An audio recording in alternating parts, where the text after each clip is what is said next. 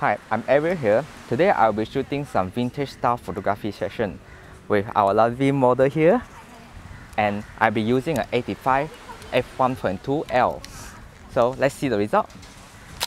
Regarding this 85mm f1.2, it's a very unique lens that it have a very good on the color reproduction and very shallow depth of field. The good thing about this lens is when you are using a dark condition, it will push out a tad more uh, exposure of a quarter stop for it.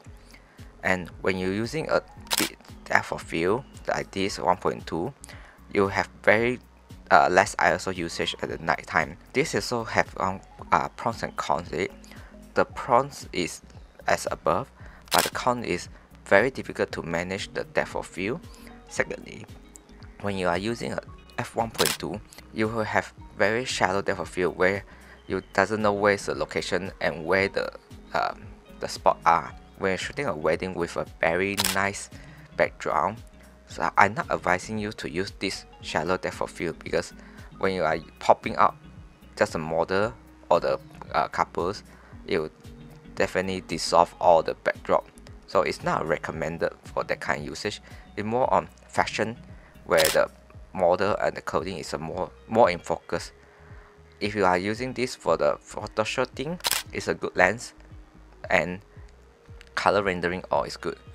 So this is all my opinion about this uh, Canon 85mm f1.2. If you have anything that you want to ask or curious about this lens, you can ask me regarding this. I'll try to answer you as soon as possible. Thank you.